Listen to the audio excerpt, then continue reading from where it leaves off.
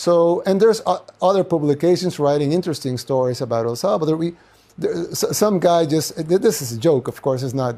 It's not.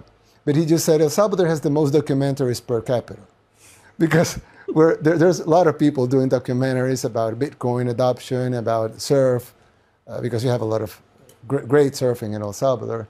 So they have a lot of uh, security measures we're, imp- we're implementing against MS-13.